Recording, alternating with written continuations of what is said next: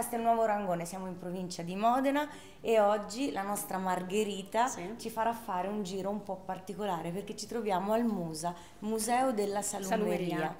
Sì, intanto benvenuti. Grazie. Questo è il Museo della Salumeria, voluto e progettato dalla ditta Ecco, Villani. un po' di storia della famiglia Villani. La famiglia Villani dal 1886 qui a Castelnuovo Rangone, proprio nello stabile in cui ci troviamo, aveva iniziato la produzione dell'arte e della salumeria. Un'arte che ha saputo tramandare, che ha saputo anche sempre valorizzare e aggiornare con le tecniche industriali più all'avanguardia. Questo però eh, senza mai dimenticare l'artigianalità e l'importanza del fattore umano. Quindi in questo museo l'obiettivo è stato proprio quello di ricreare l'atmosfera di un'arte, quella salumiera appunto, che richiede una grande passione, una grande artigianalità e professionalità, chiaramente legata anche allo sviluppo industriale che ha fatto della Villani una delle ditte più importanti nel nostro distretto alimentare di Castelnuovo. Allora, il museo si compone di tre parti, sono tre sale. Sì, è strutturato su tre sale. La prima in cui ci troviamo adesso è dedicata proprio a questo mix fondamentale tra eh, il fattore umano e il fattore industriale. Un fattore umano che deve avere delle conoscenze specifiche notevoli, a partire dalla conoscenza di tutti i componenti che sono necessari per eh, la preparazione della stagionatura di un salume, quindi sale prima di tutto, parola chiave per noi perché sale, salume, salumeria Certo. è tutta una, insomma, una catena, le spezie, le erbe aromatiche che sono dei componenti per noi straordinari e che caratterizzano ogni singolo salume. Naturalmente l'uso delle macchine che ha aiutato l'uomo e ha portato la produzione a livelli industriali sempre qualitativi e poi la storia dei prodotti, ogni singolo prodotto ha la sua storia con eh, i suoi ingredienti chiaramente, figure specializzate per eh, la sua produzione, quindi insomma è un eh, museo estremamente ricco già a partire da, prima, da questo primo piano. Al secondo piano ci teniamo particolarmente a raccontare la storia del tempo, il tempo per noi è un valore aggiunto, la stagionatura richiede i suoi tempi e questo ci permette di arrivare alla produzione eh, di, ottimi, di ottimi prodotti.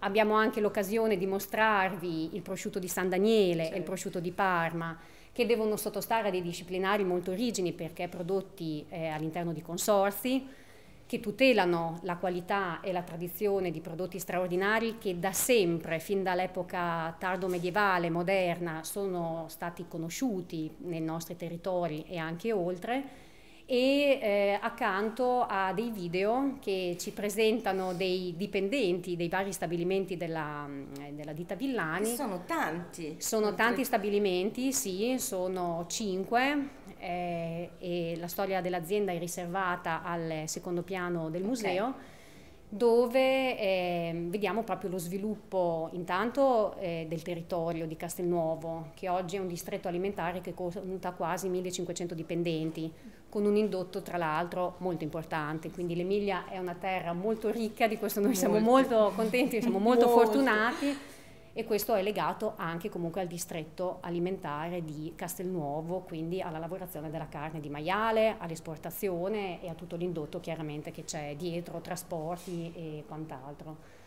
È una ditta che si è radicata molto sul territorio emiliano, emiliano-romagnolo, da Bologna a Parma. A Bologna c'è lo stabilimento per la preparazione della mortadella, che è il salume più famoso e più tipico di Bologna, eh, per arrivare fino all'Anghirano in provincia di Parma per la produzione del prosciutto di Parma. Una punta al di fuori della nostra regione è rappresentata dal Friuli, Sì. dove a San Daniele c'è lo stabilimento chiaramente per il prosciutto di San Daniele con le sue particolarità organolettiche, quindi insomma ci siamo espansi fino, fino sotto le Alpi praticamente. La produzione è divisa ehm, quasi ugualmente tra ehm, l'Italia e chiaramente l'export. Ecco, a tal proposito, quanto è importante l'internazionalizzazione del Made in Italy? Beh, Oggi è straordinariamente importante, Mm. questo è evidente. La Villani ha una vocazione per l'export molto forte che nasce praticamente dai primi anni della- dell'azienda perché alcuni dei più importanti e famosi esponenti della famiglia Villani già ai primi del Novecento viaggiavano in America, apprendevano tecniche di lavorazione meccanica e industriale in America per poi importarle qui in Italia, farne uso e applicarle alla produzione dell'arte salumiera.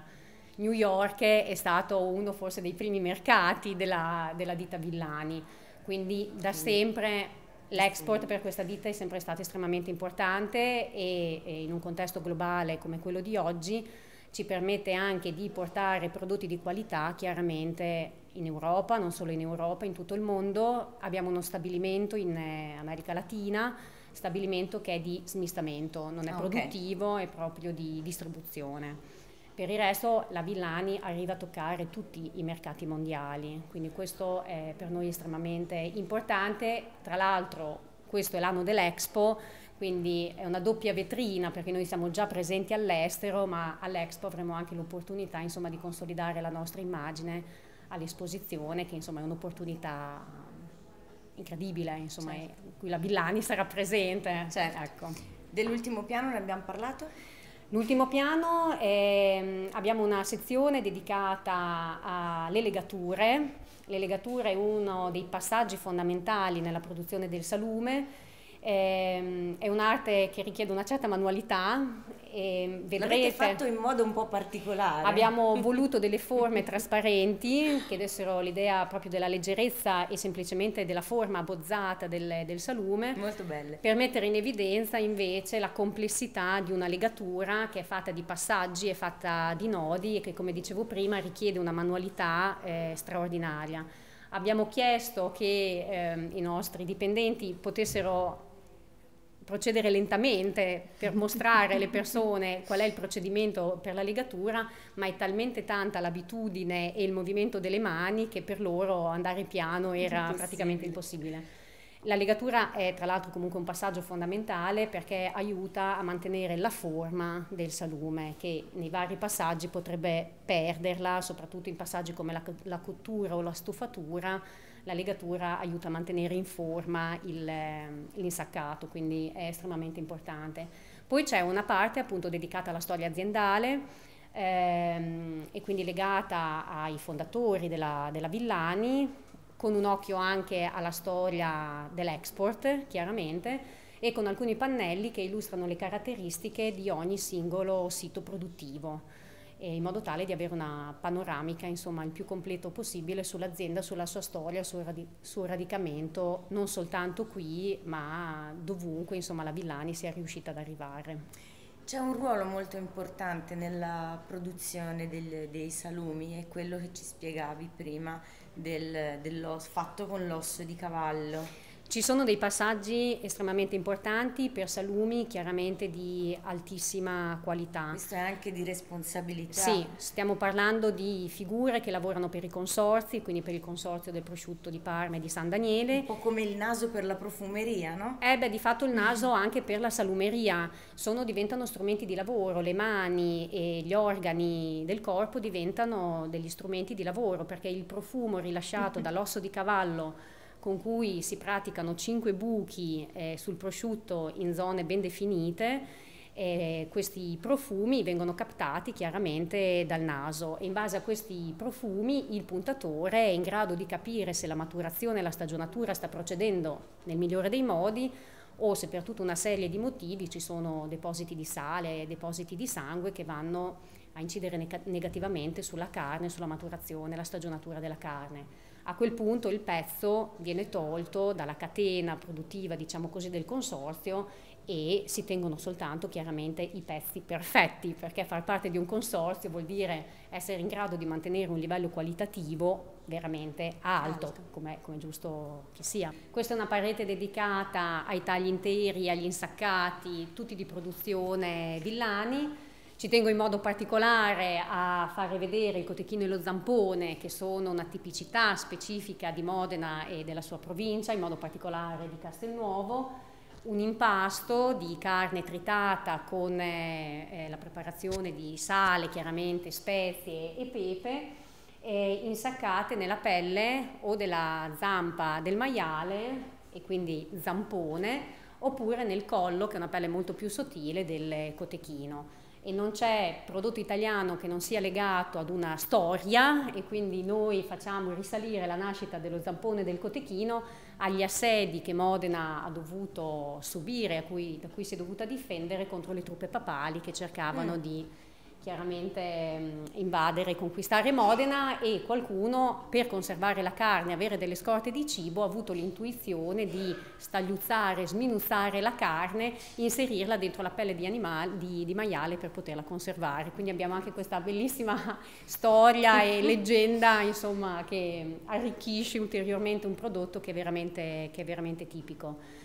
Qui invece vorrei farvi vedere alcuni degli strumenti che sono stati usati per tantissimo tempo all'interno della Villani e che fanno parte della, del bagaglio insomma, di qualsiasi artigiano dell'arte salumiera, strumenti che avevano il manico in legno e la lama in ferro. Chiaramente oggi gli strumenti sono completamente diversi, anche se le forme sono più o meno uguali, la coltellina da crudo è ancora tale quale come la sgorbia che serviva per disossare eh, i prosciutti.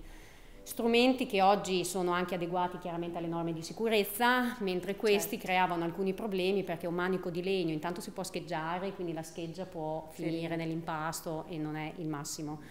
E, ehm, il ferro tende a ossidare, a diventare nero e a rilasciare un sapore metallico e quindi a guastare un po' il sapore eh, in bocca e il manico ancora una volta di legno a contatto con il grasso e anche con il sangue della carne tendeva a diventare scivoloso e quindi abbastanza pericoloso per eh, l'operatore. Infatti conserviamo anche dei presidi di sicurezza come dei guanti e delle pettorine in acciaio che erano i sistemi di sicurezza che una volta erano in uso per proteggersi durante le fasi di lavoro. Margherita, noi ti ringraziamo tantissimo, iniziamo la nostra il nostro Grazie tour all'interno del museo e veramente ci stai facendo scoprire un mondo che è molto ricco, molto affascinante, che parte da lontano e io credo arriverà ancora più lontano. lontano. Quindi, grazie a voi. Grazie, grazie a voi.